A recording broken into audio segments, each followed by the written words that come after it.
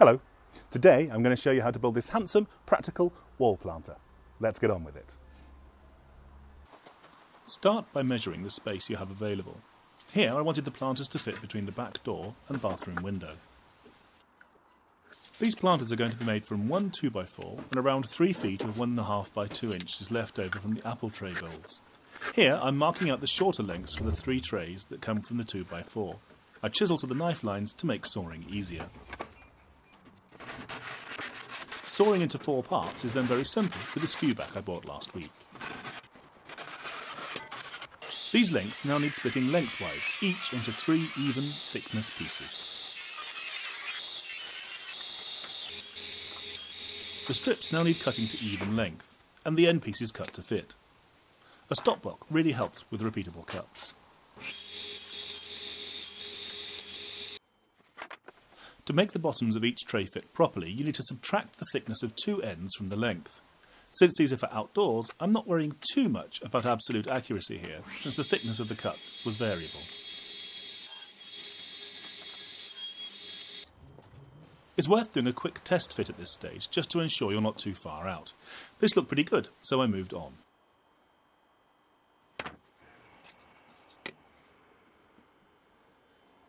Planters will hold moist soil, so they need good drainage.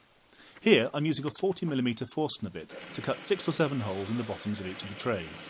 They won't be seen in use, so I'm not fussing about neatness here.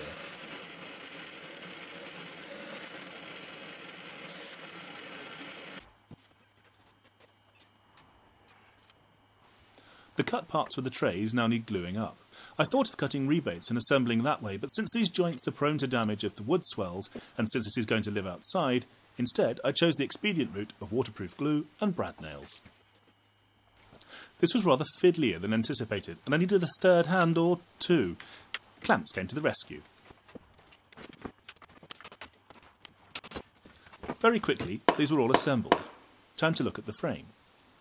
To look its best, the trays need to be evenly spaced. I used offcuts to act as spacers so the trays could be marked up more easily. I made the marks on the wood before splitting in two lengthwise. This ensured they would be level once parted and mounted on the wall. It was then a simple case of cutting the three housings in the batten. I've used the crosscut sled here, but you could make this with a router plane just as easily, if more slowly. The batten is then cut lengthwise into two equal pieces. I messed up the measuring, so I had to trim the second part down a little, but no harm done. The frame wants to sit away from the wall, so here I'm cutting riser blocks from 40mm dowel. The battens and the blocks need drilling so the frame can be secured to the wall. I chose to put these in the housings to make the final appearance a little neater.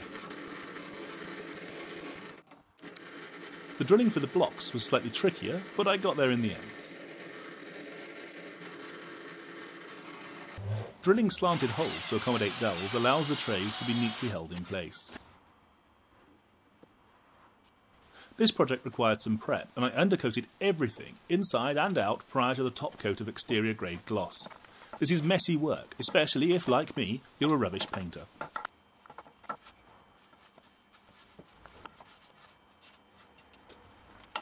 With undercoat in place, the gloss goes on easily.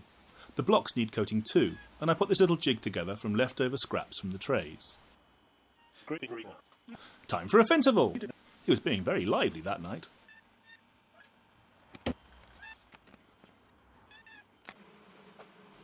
Having measured these to fit, I wanted the trays to sit evenly in the gap. A quick offer up allowed me to mark where the battens needed to go. Using an easy reference point, the drill holes can be started using the battens as templates. I say easy, it was clear the straight line wasn't, and I needed to improvise to make this work.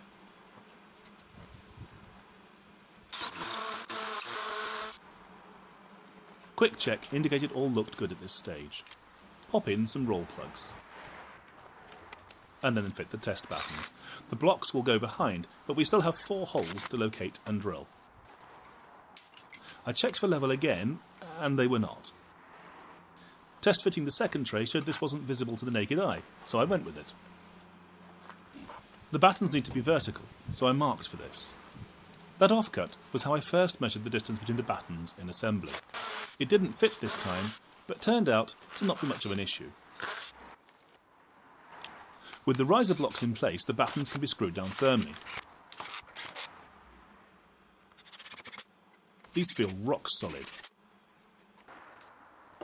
The trays can then be tapped home in the housings and the dowels inserted to secure them in place. It's a bit fiddly, but it's not difficult.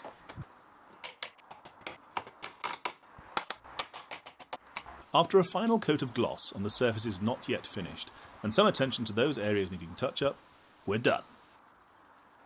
So there we have it, a handsome, practical, useful wall planter that I'll be planting up as soon as the paint dries. And unfortunately, it hasn't had time to do that yet. But as soon as it does, I'll be planting it with a mix of bulbs and flowers for a splash of early spring colour.